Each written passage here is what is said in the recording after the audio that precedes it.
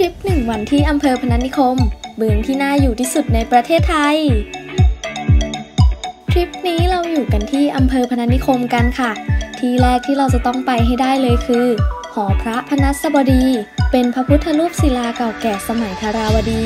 ที่แกะสลักจากเนื้อศิลาละเอียดสีดำเป็นพระพุทธรูปในท่าประทับยืนบนดอกบัว ที่วางอยู่บนหลังสัตว์ประหลาด ที่สร้างขึ้นจากจินตนาการเรียกว่าพนัสบดี หรือผู้เป็นใหญ่ในป่า ไม่ไกลจากที่เดิมมากนัก เราจะพาไปชมศูนย์จักสารที่ใหญ่ที่สุดในโลก เป็นแหล่งเรียนรู้ทางวัฒนธรรมภูมิปัญญาท้องถิ่น ด้านงานจักสารด้วยไม้ไผ่ โดยเฉพาะการอนุรักษ์ฟื้นฟูภูมิปัญญาท้องถิ่น ซึ่งมีชาวบ้านเป็นผู้ถ่ายทอดข้อมูลค่ะ ภายในพื้นที่แบ่งเป็น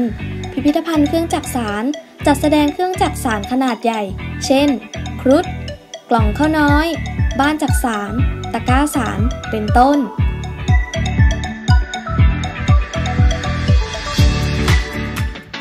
ต่อไป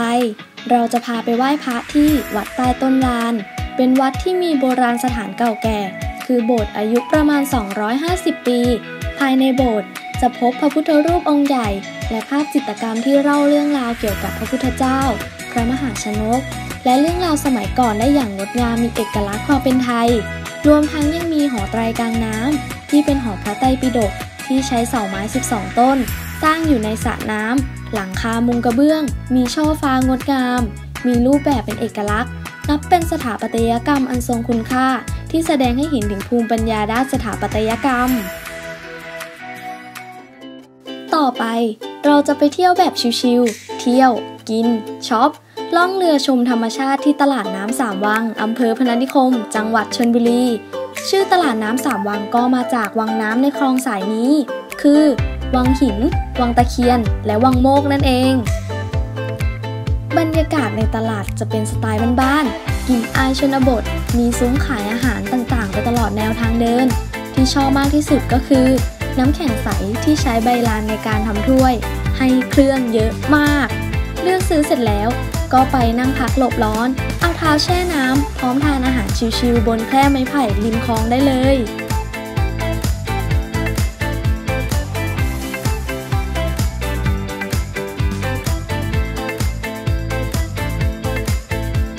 นอกจากนี้ที่นี่ยังมีบริการล่องเรือชมธรรมชาติ ค่าบริการคนละ 30 บาท หรือจะพายเรือเล่นเองเขาก็ไม่ว่า ค่าบริการอยู่ที่ลำละ 50 บาท หากนั่งเรือไปถึงท้ายคลอง จะเจอวิวทุ่งนา มุมถ่ายรูปสวยๆ กับเปยวนไว้นอนรับลมเย็นๆ และยังมีบ้านของเก่าย้อนยุค ส่วนตอนค่ำก็มีบริการล่องเรือชมหิ่งห้อย ค่าบริการอยู่ที่คนละ 50 บาทเท่านั้น